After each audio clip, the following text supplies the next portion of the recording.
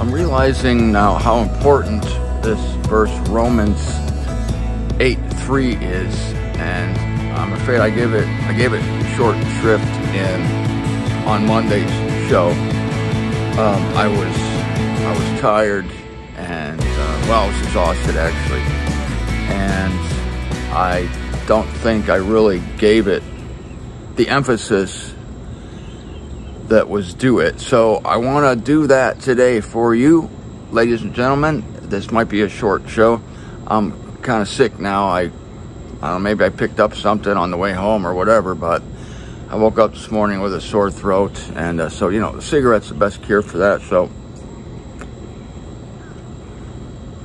I'll do what I can here, but I've been thinking about it since Monday, and so I want to emphasize that Jesus Christ condemns sin in the flesh. This is I realize now what an unusual statement this is. And as far as I know, this has never been explained to me, or I've never, well, it hasn't been explained to me in any kind of detail, nor have I appreciated the uniqueness of this construction, of this wording. And I'll tell you why it's unique in a second. Hi, everyone. Martin Zender. I'm back from the Virginia conference. Got back yesterday at 9, last night at 9.30 it's great to be away. It's great to get back home, get back to the routine. I miss everyone there. Um, Greg Davis recorded the whole conference. Well, I don't even have my microphone plugged in. I tell you, I'm not on my game right now, but I'm going to be on my game when I start talking about Romans 8 3. You're going to notice the difference. I want to plug my microphone in. Three, two, one. Boom. Is that better? You see the difference equipment makes? There you have it. This is Martin Zender. Welcome to MZTV. I'm back at the edge of the bottom of the Florida Peninsula. Christ Jesus, our Savior, condemns sin in the flesh.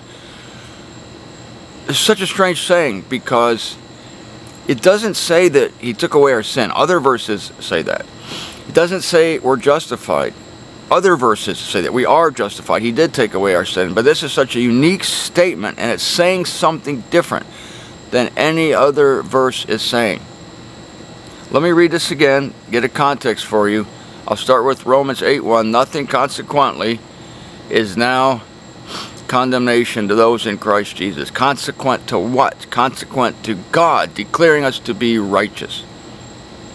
How can anything be condemnation to those who God proclaims to be righteous. It's impossible. Nothing consequently, based on Romans 3, 4, 5, 6, and 7, nothing consequently is condemn is now condemnation. Used to be, but not now, to those in Christ Jesus. Not according to flesh are they walking. As I said, this not this has nothing to do with your sin it has to do with your disposition. I'll say that again. Not according to flesh are they walking, but according to spirit. This doesn't have to, have to do with sin, but with your disposition. What are you listening to? Are you listening to your flesh or are you listening to the Spirit's declaration of life? This is another case of flying by your instruments, flying by the Word of God, believing what it says, not trusting your feelings, not looking down at your body, I've given you the analogy of a pilot who is trained to fly by his instruments. If a pilot is not trained to trust his instruments and is trained only to base his attitude in the air on the ground, on his perception of the ground, where he is in space, if that goes away, if a pilot is surrounded by a whiteout, cannot get any orientation on the ground, then you can so easily become disoriented. And you must look at those instruments. You must trust your attitude indicator that your wings are level. You must trust that your nose is level, not up, not down. And it may, everything in your body might be screaming against what the instruments are telling you. This is why my dad took this training. I was in the plane with my dad when he was learning, getting his instrument rating. And when the instructor's training a pilot, he puts a hood on you that doesn't allow you to look at the ground. So you're flying completely by your instruments. And it's like, trust the instrument, trust the instrument, trust the instrument. Our instrument is the Word of God. And we trust the instrument that says, You are declared to be righteous. And we apprehend this by faith. It has to be by faith now because faith is an assurance concerning things which are not being observed. Likewise, the pilot's instruments, when he's flying in a whiteout, can't see anything. The pilot's instruments is his assurance concerning things, that is his attitude in space, how he's going, how he's flying, which are not being observed. And the Word of God is our instrument.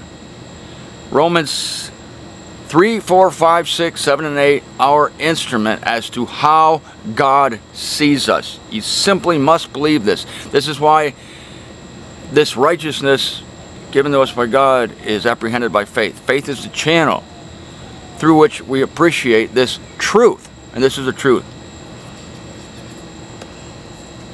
So Jesus Christ did take away our sin, but this verse isn't saying that. Let's finish reading it in context. Nothing consequently is now condemnation to those in Christ Jesus. Not according to flesh are they walking.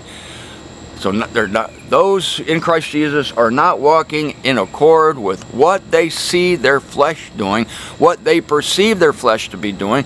It's as foolish to monitor your attitude in God's opinion by looking at your flesh as it is for a pilot trained to fly by instruments to try to gain his attitude by looking out the window. You can't look out the window. Don't look out the window. Don't look out the window. Don't look out the window.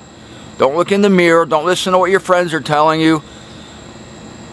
Don't listen, in Paul's case, in Galatians, don't listen to what the Galatians are telling you. Because the Galatians had all sorts of outside influence screaming at them that they were not justified. This is what the whole armor of God is about. Protection against Satan's lies. If you try to look out the window, you're going to falter. You're going to fail. That's what Peter did when he was walking on the water. He looked out the window. When our Lord called Peter out of that boat, as long as Peter was looking at Christ, looking at his instrument, not gauging what he was doing by looking at the waves, looking at the wind, considering that he was heavier than water, yeah, you're heavier than water, Peter, but don't think about that right now. Keep your eyes centered upon Christ and you'll stay afloat. But Peter couldn't handle it because the wind blew and all of a sudden his attention was diverted. This is fatal for a pilot. This is what did in JFK Jr. This is what did in JFK Jr and his wife and his wife's sister got into a whiteout. Wasn't trained. It was dark. Couldn't see the lights of the shore anymore. Got away from the shore of, of New York. The lights gave him a perspective of where he was. When that disappeared, he he he just when you pan you panic. That's what happens. Pilots panic. This is why it takes training, training, training not to panic and to just look at that instrument and you will swear that your instruments are wrong because your body's telling you something else. But the body's a liar. The body is a liar. Your flesh is a liar. Your friends telling you that you should be more concerned about your flesh. They're liars. The word flesh is going to come up here in our key passage here. And the flesh is a liar. I can't say that enough. This is beautiful. I love this video so far. Absolutely love it. This is exactly what I wanted to do. I knew that I just wasn't focused in enough on this verse. And I've been thinking about it ever since. So let's continue. Not according to flesh are they walking. Let's put it this way. They're not looking out the window. This is good. All right, let me let me apply the airplane uh, analogy to this passage. Nothing consequently is now condemnation to those in Christ Jesus. That's the instrument. That's the Word of God. Not according to flesh are they walking. These people are not looking out the window, but they're walking according to Spirit. They're looking at their instrument. They're not looking out the window. They're not looking in the mirror. They're not considering themselves after the flesh. Yes, 2 Corinthians chapter 5 is a parallel passage here not considering themselves according to flesh. It's crucial in Paul's gospel to do this. Why? Because the truth is so radical. And again, the whole problem is our revelation is ahead of our bodies. As I've been telling you, the body of sin is not yet nullified. Shall be discarded soon. So they're not looking out the window. They're not walking in accord with the flesh, with what they see their flesh doing. You see, this can't mean, this can't mean, not walking according to flesh can't mean that they're not sinning. It can't mean that. Because even to understand that you are sinning, you would have to consider yourself according to flesh. This is what the Christians always do. They're looking at themselves constantly according to flesh. So they misinterpret this verse. Walking according to flesh, they think is sinning. No, walking according to flesh is looking at the flesh, monitoring it, hoping that it will give you some positive feedback as to how God sees you. Boy, I said it perfectly there. Hoping that the flesh gives you some positive feedback as to how God sees you. Don't ever do that. That's a lie. But I'm telling you, your Christian friends will pull you into that world. That's their world. They want you to be enmeshed in that world just like they are because misery loves company. No, no, no. We're not walking according to flesh. We're walking according to spirit. That is, we're looking at our instrument and we have the audacity to believe what God says about us. Four, the Spirit's law of life. And again, I told you on Monday that this was a joke phrase. It is. Next time somebody says to you, you need to be more concerned about the law. I need you to say, I am concerned about. I do have a law.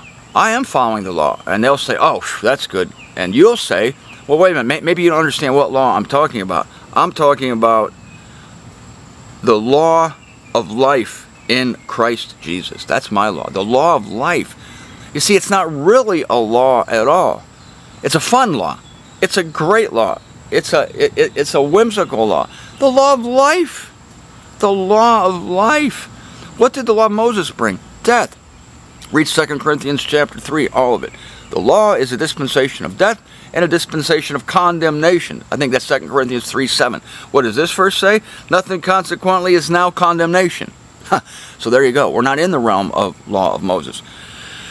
And Paul points that out here because he contrasts the law of life in Christ Jesus with the law of sin and death. This is what he said. The law of life, the Spirit's law of life. Oh, this isn't Moses' law of death, the Spirit's law of life. I know I said this Monday, but I didn't wring the chamois enough. I need to wring the juice out of this baby. That's what I'm trying to do now.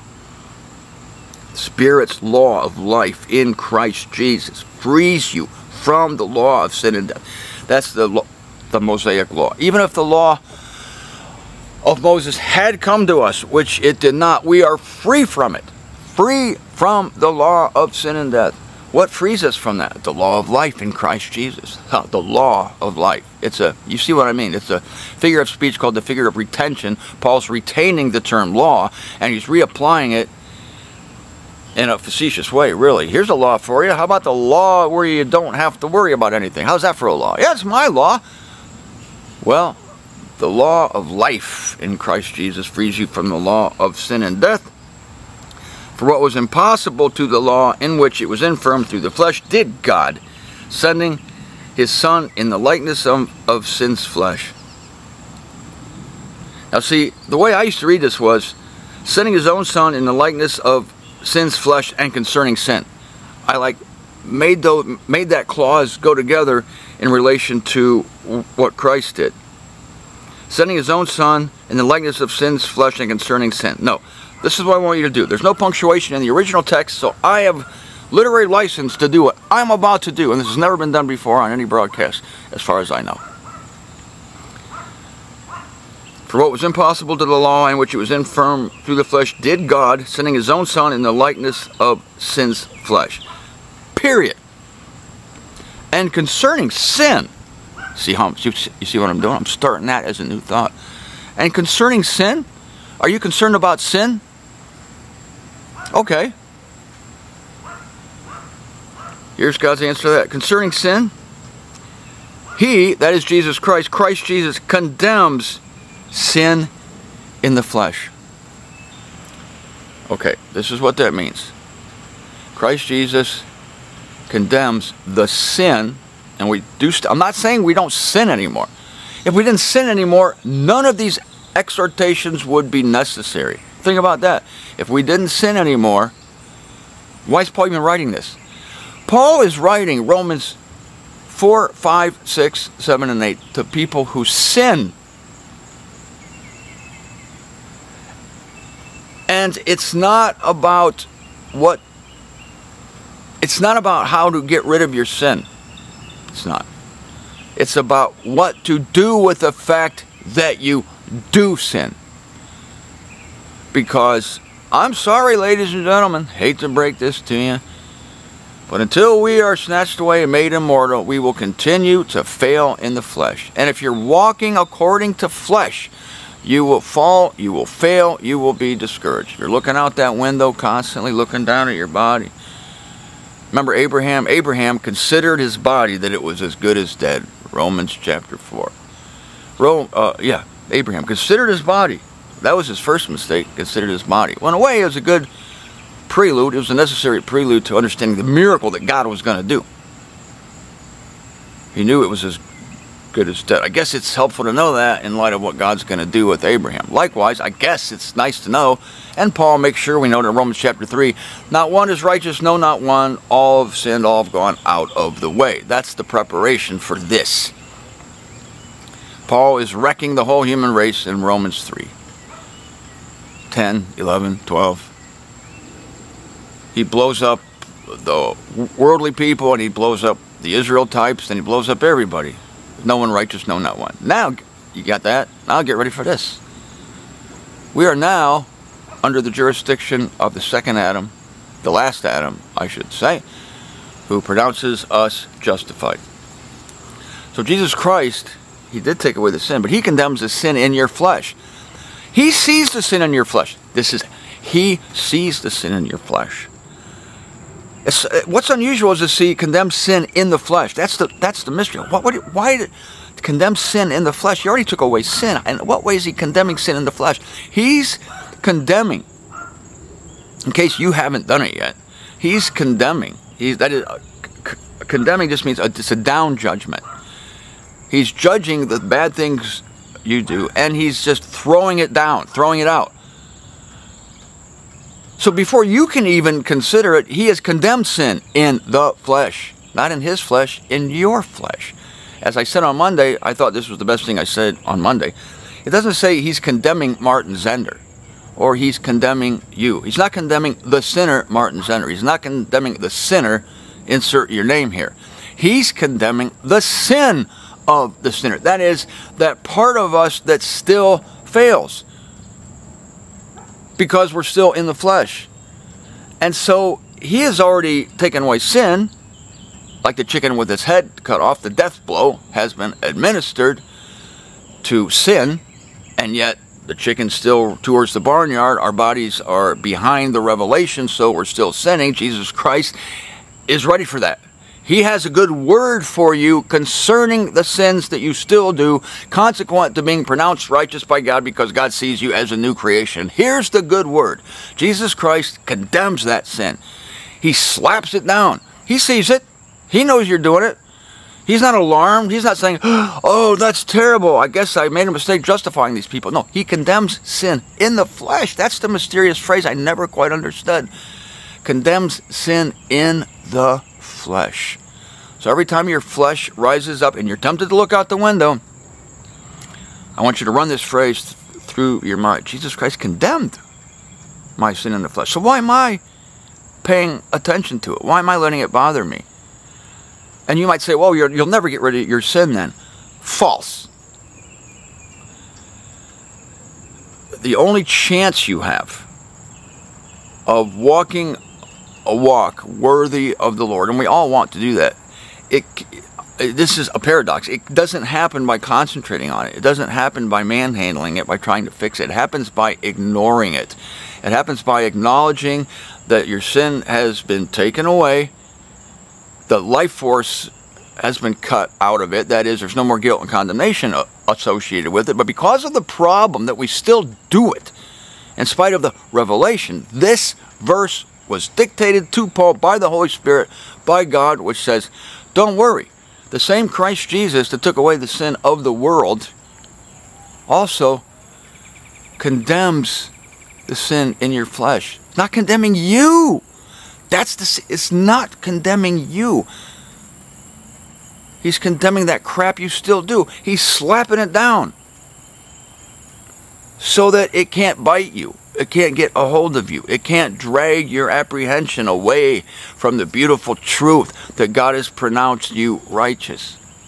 He's not condemning the sinner here. How could he possibly? We're declared righteous. He's condemning sin in our sluggish flesh, in the flesh that has not yet gotten the memo our apprehension has the memo that we're declared righteous and that we're justified, but the flesh is slow to respond. Not to worry, friends. Jesus Christ condemned sin in the flesh.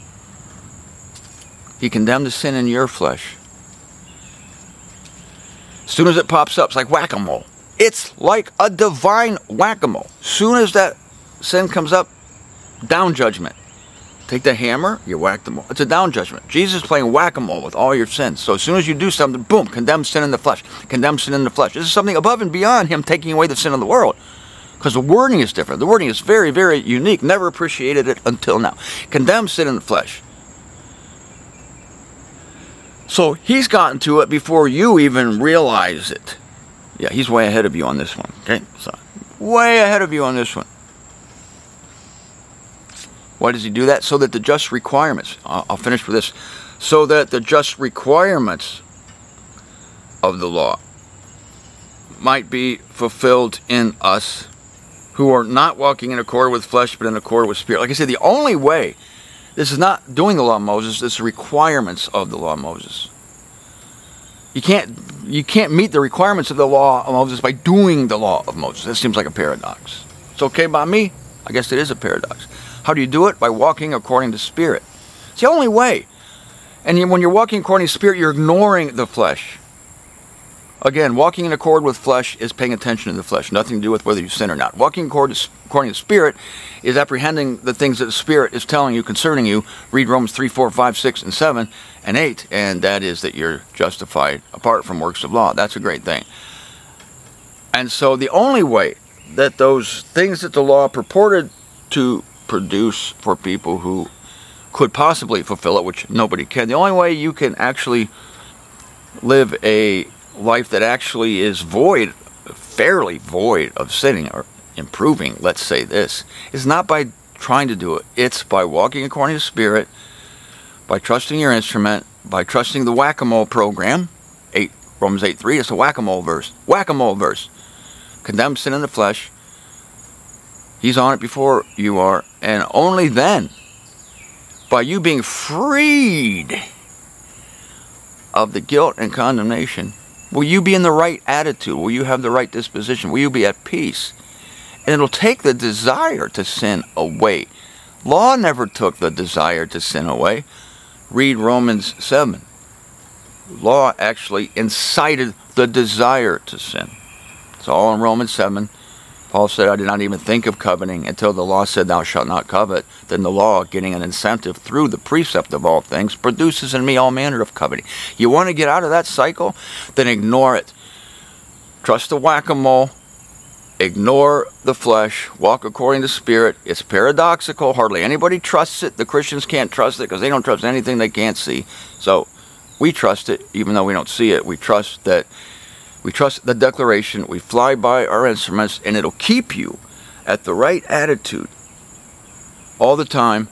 And paradoxically, it will also produce the peaceable fruits of righteousness.